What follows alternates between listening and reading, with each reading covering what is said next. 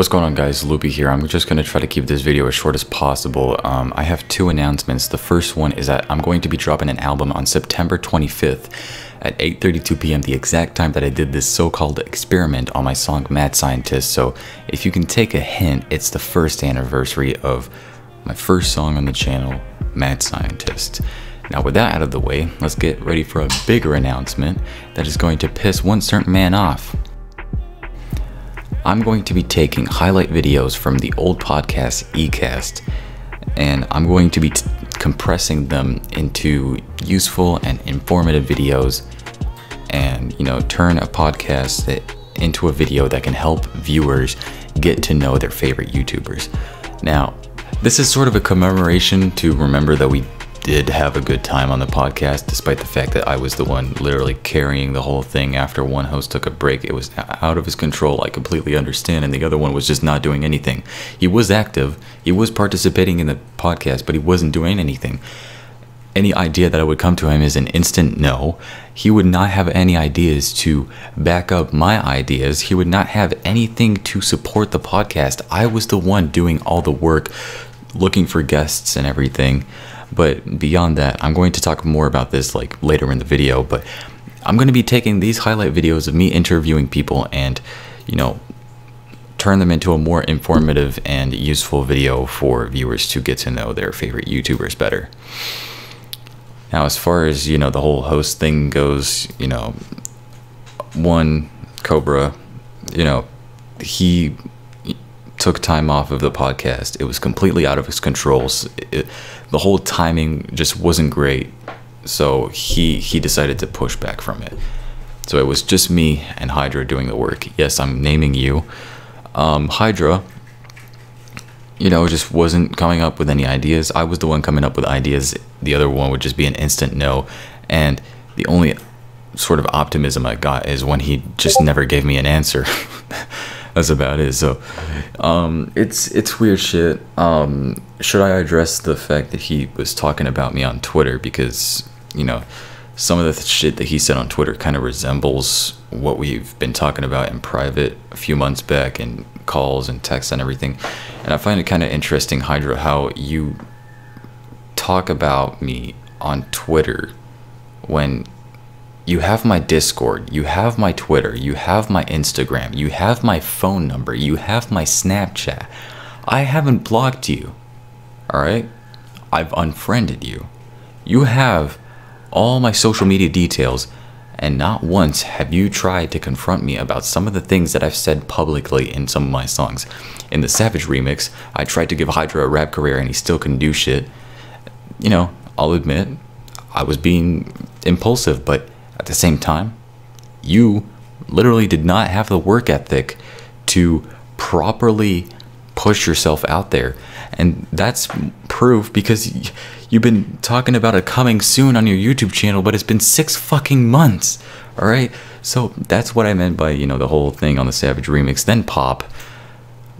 I said some claims that I will not mention here. You and I, we can have a one on one conversation about this if you want because I know that you're looking around my Twitter, looking around my social media because you wouldn't have any other reason to talk about me if you weren't doing all of this. You definitely are spying around on my fucking social medias, you fucking creep. God damn.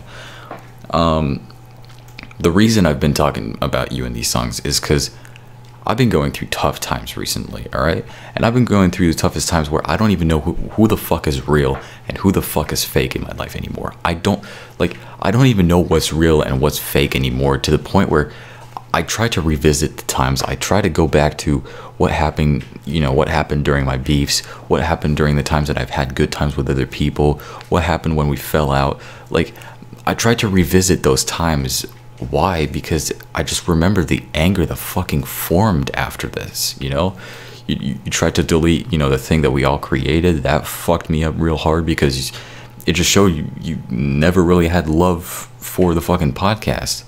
Like after, you know, like after I, I left, you just, you were just like, fuck it, I'm gonna leave too. And I was like, bro, like, eh, like, the fact that this podcast was just abandoned so fast like i know like some of the shit was not in anyone's control but if you really had love for the podcast, we would still be making episodes to this day, and I would not have any issues with you, and I would not have anything to say about you, and we would just keep going. We would be on episode fucking 30 right now.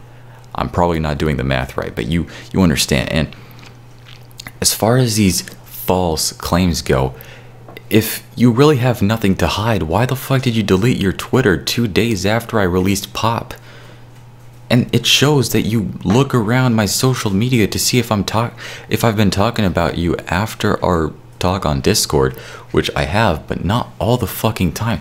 And if you think that I've been talking about you all the fucking time because you the, the way that you've been saying shit on Twitter is you're acting like I never let it go. Like I never let the situation go. And you're right, I don't let things go. Why? Because I just remember why I'm angry. And that makes me angry even more. Because I I never got my my mental justice. It's something that you probably haven't heard of, but mentally I feel like I've been done fucking dirty. And you may feel like you've been done dirty because I've been, you know, distancing myself away from you, but mentally I feel like I've been fucking done dirty.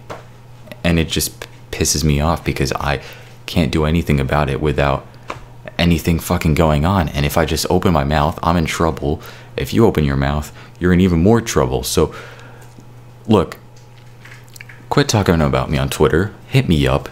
Like I said, you have my Twitter, my Insta, my Discord, my fucking TikTok, and my phone number. You have all of these, right? You can hit me up and we can talk about these false claims that, you know, prompted you to delete your Twitter two days after I released Pop. So, you know, it, it's just that. It's just that. Um, you know, and like I said, like if you think that I've been talking to you or talking about you in like every single song that I've made, because I've made songs about fake people, why I hate them, why, you know, I find it hard to see what's real, what's fake, why I just don't fuck with most people on this platform. If you think everything I've said applies to you, then maybe you should just find out what the fuck is wrong with you as a person because if you think all of this applies to you, then maybe something is fucking wrong with you, right? Like that's something you need to put in perspective, right? If you think me saying, "Oh, you know, I don't fuck with fakes. I don't, you know, fuck with people who take advantage of me for everything I've given them and for everything that I've done for them on a mental and physical and whatever note. Like, if you think everything I've said applies to you, then you need to revisit yourself as a person and, try to fi- figure out what the fuck is wrong with you, right? Because I could say a like plenty of things that are wrong with you. All right. So, you know, like I said, like stop fucking being subliminal and hit me the fuck up. It's been four months since we haven't talked. All right. And if you had some sort of issues with me, you could just fucking talk to me. And I told you about this after our Discord call. Now, I'm done talking about you.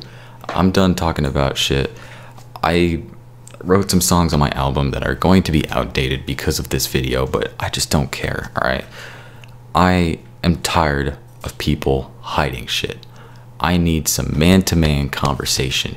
And you've been talking about a one to one conversation, so if you feel like there's going to be a one on one conversation, why the fuck haven't you hit me up yet? like I said, I haven't unfriended you. You can still talk to me any day of the week, yet you choose not to. Put that into perspective. It's been your boy Loopie. I'm gone.